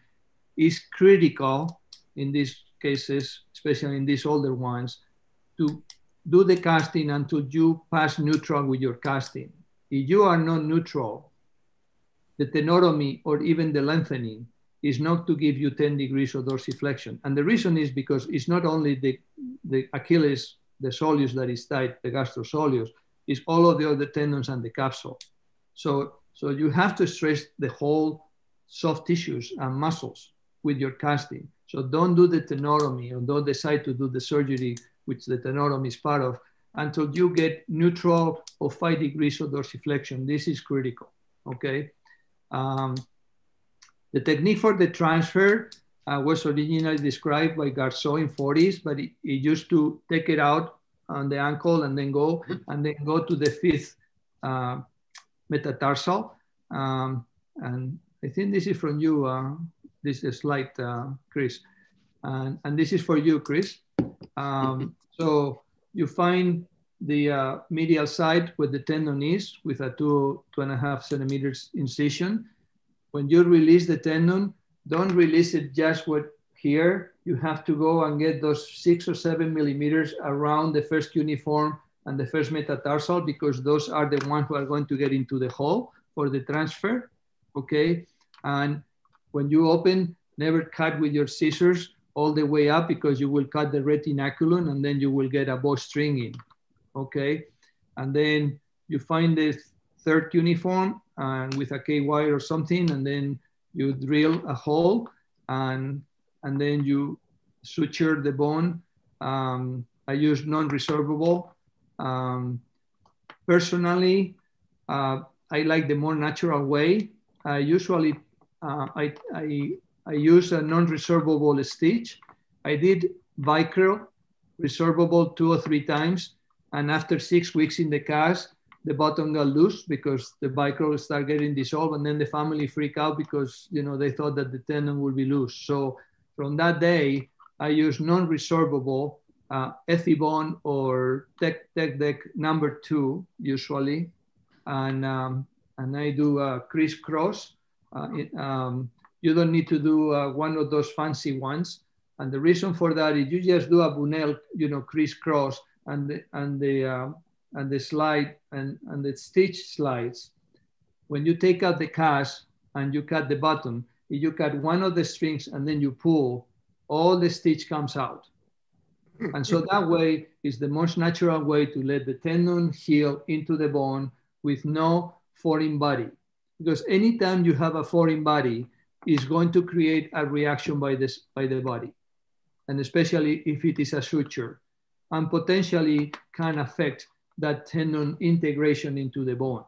And so that's why I prefer number one to use not um, resorbable sutures and then to use a suture that by cutting one string, you pull down and everything comes out and then the foot is as natural as it can be.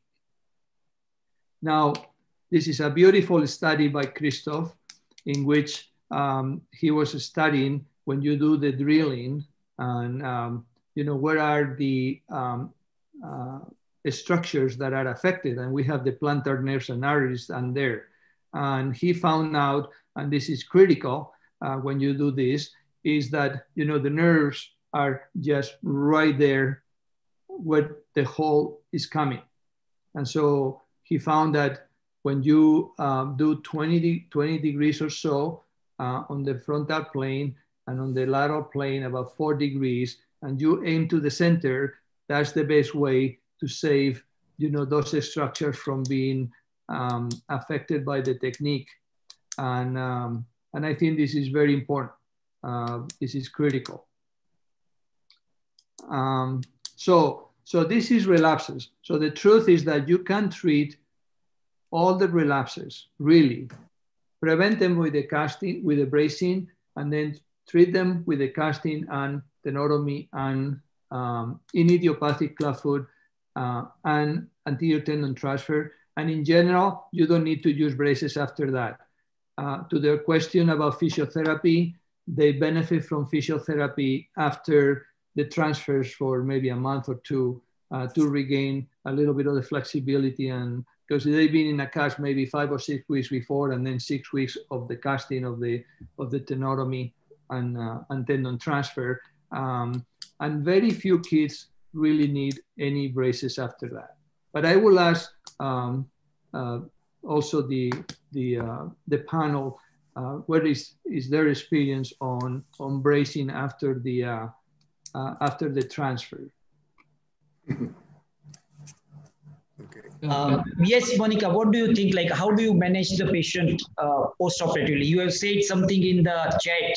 So can you just uh, tell us, like, how do you manage the patient post-operatively? Well, uh, one time I was, I had finished my surgery and you always let go, let the patient go after six weeks in casts. And some of those feet are just too, too stiff.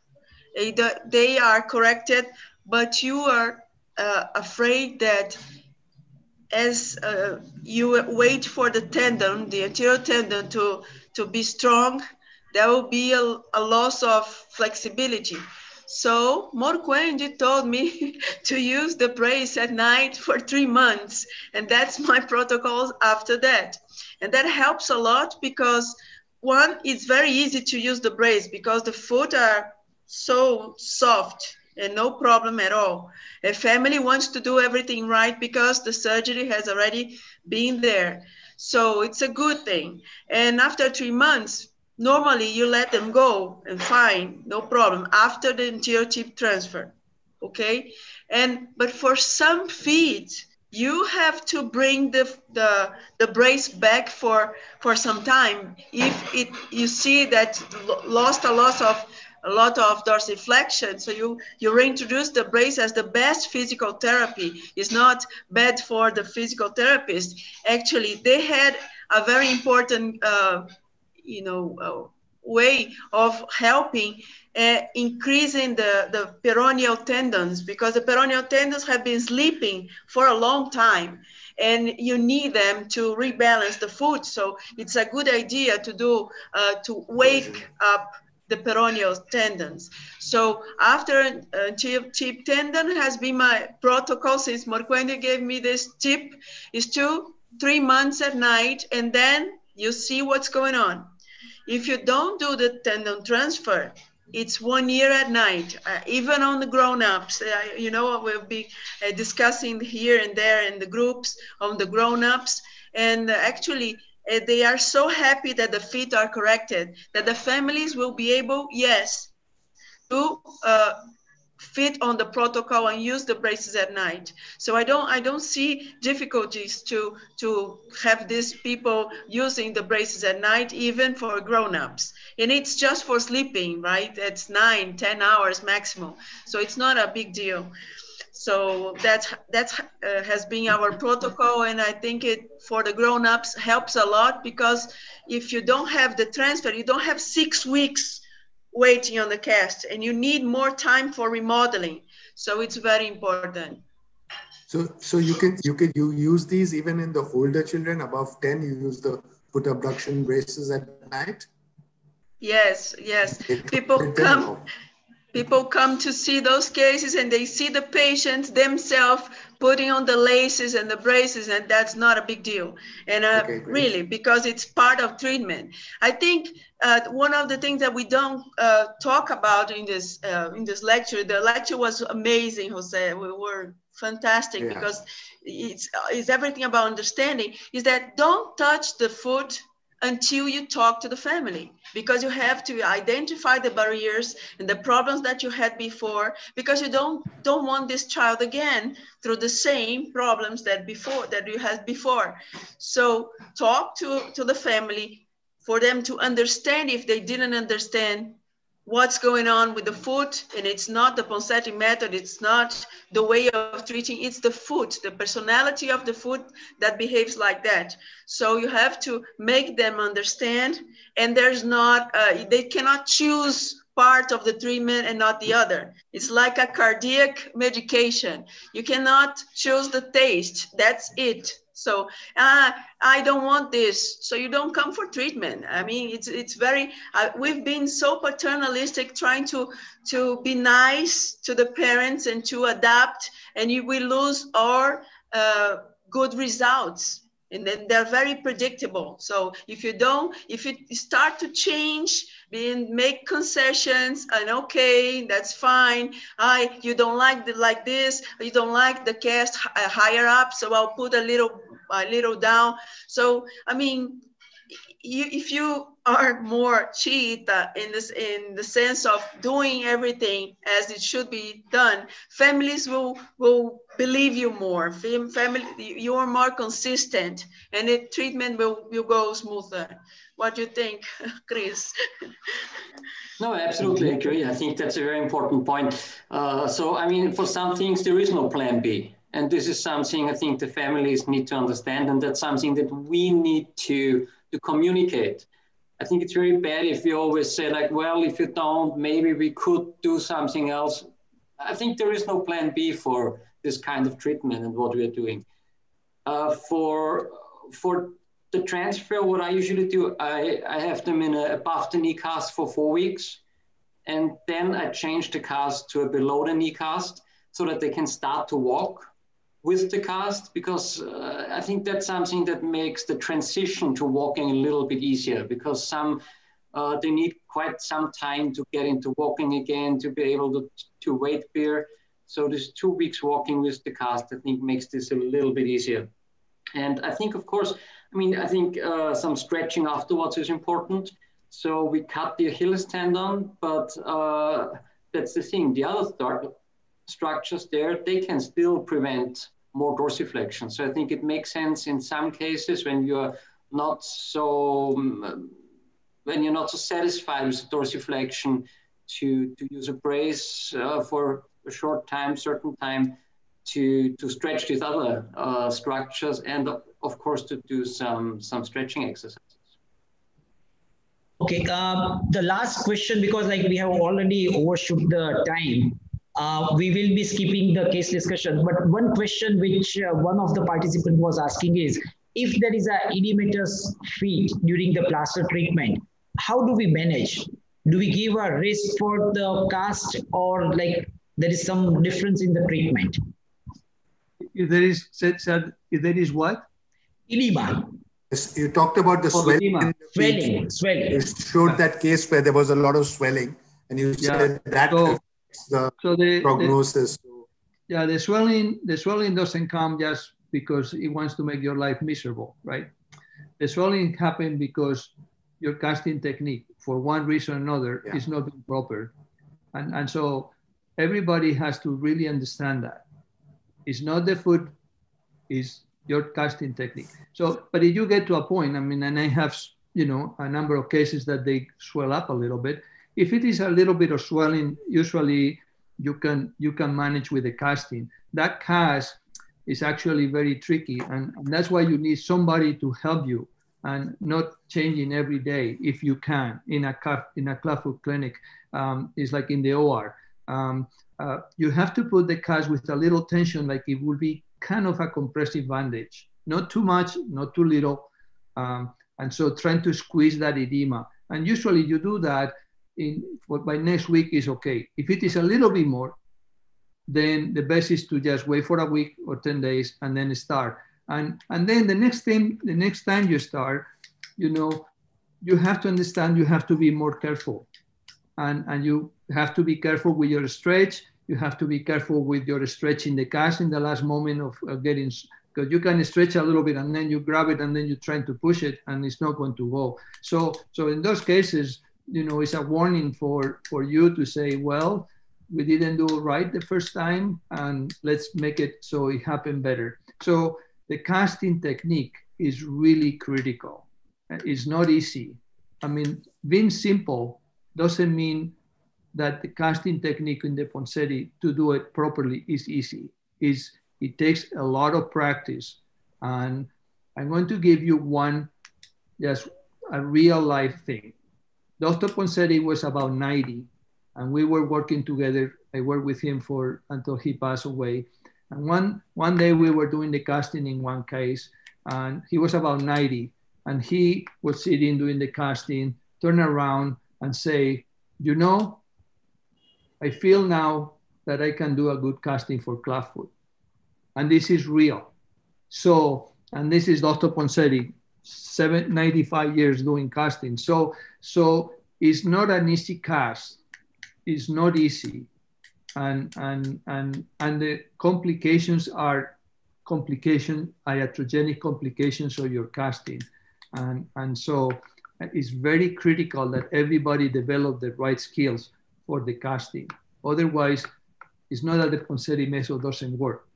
It's that when applied properly it actually works all the time very rarely you cannot turn a foot around I, I mean in my experience, I never had that chance unless it was a weird thing.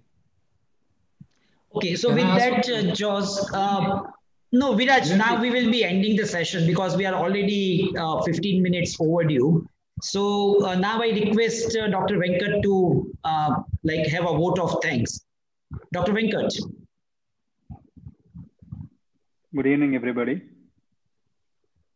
On uh, behalf of POSI, I would like to thank uh, today's guest speaker, uh, Dr. Jose Morcuende, for absolutely uh, fantastic uh, overview on Ponseti's technique. You rightly mentioned that you emphasized the fact that Ponseti is a philosophy by itself and not just a casting technique. It was amazing. And uh, I also like to thank the panelists, Dr. Chris, Monica, and our own national panelist, Dr. Viraj and Dr. John Mukhopadhyaya. And just to summarize the things, uh, Dr. Jose, today uh, uh, the theme was about relapse of uh, relapse club feet, and he rightly said that prevention should be the first aim, and you try to prevent the relapse. That was the main uh, thing in his lecture, and uh, he said also said that as a surgeon you have to owe the responsibility that the child should wear the brace and he said that he should make sure you choose the right comfortable shoes so that the child wears the shoes and then he of course in the best of the hands he said that they have a relapse rate of about 12% and we should accept that about 10 to 15% relapse is going to happen and then we treat the relapses following the same principles of Ponseti like stretching and casting followed by tenotomy and then bracing and tibialis anterior transfer. Thank you so much for the wonderful uh, lecture and discussion. And I also would like to thank uh, TV for sponsoring this event. Thank you one and all.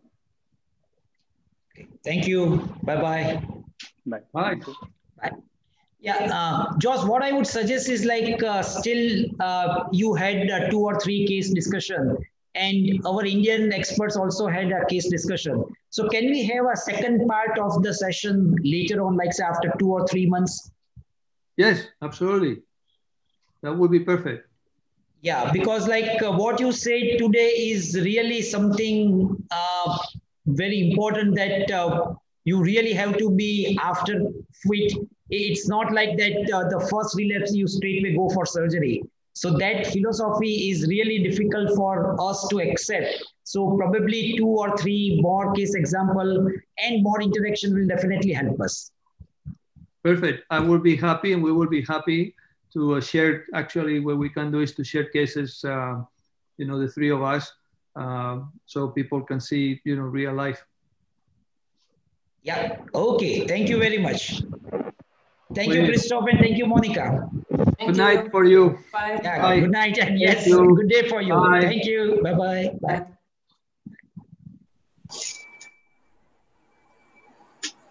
Okay, bye. Bye. Bye. Yes, Ashok, thank you. है thank you sir या recording function है आपको